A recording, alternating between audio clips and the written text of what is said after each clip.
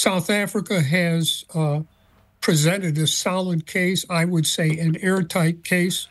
Uh, and based on everything I've seen, my knowledge, judgment, and experience, I believe the South Africa will win uh, an order of provisional measures of protection uh, against Israel to cease and desist from committing acts of genocide against the Palestinians. That would be an enormously significant moment. But of course, Israel has a long history of, as it were, brushing off uh, criticism and uh, critiques from the United Nations and the international community. What would happen as a result of this if it did lose the case that would cause real problems for Israel? Right now, it looks like the Americans would definitely uh, veto any enforcement.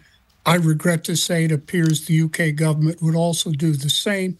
That would not be the end of the matter. Uh, it can then go to the United Nations General Assembly